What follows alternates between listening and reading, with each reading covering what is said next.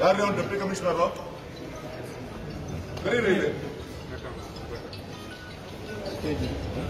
ಇರ್ರಿ ಮಂತ್ರಿಗಳೇ ನಿಂತ್ಕೊಳ್ರಿ ನಾನು ಒಬ್ಬ ರೆಪ್ರೆಸೆಂಟೇಟಿವ್ ಇದ್ದೀನಿ ನನಗೂ ಪ್ರೋಟೋಕಾಲ್ ಇದೆ ನಿಮ್ಮೊಬ್ರಿಗೆ ಅಲ್ಲ ಎಲ್ಲಾಡೋದೇನು ಬೇಕಿಲ್ಲ ಮಾತಾಡೋಣ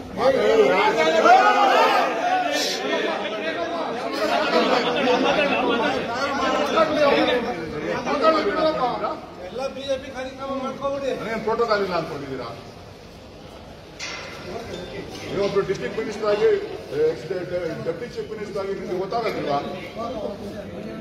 ಏನ್ ಇನ್ಸ್ಟ್ರಕ್ಷನ್ಸ್ ಕೊಡ್ಬೇಕು ಅಂತ ಹೇಳ್ಬಿಟ್ಟು? ಕೊಡ್ಬೇಕಲ್ಲ ನನಗೆ ನನ್ನ ನನಗೂ ಕೊಡ್ಬೇಕಲ್ವಾ. ನನ್ ಬರಬೇಡ ಅಂತಾರ ರೀ. ನನಗೂ ಪ್ರೋಟೋಕಾಲ್ ಇದೆ ರೀ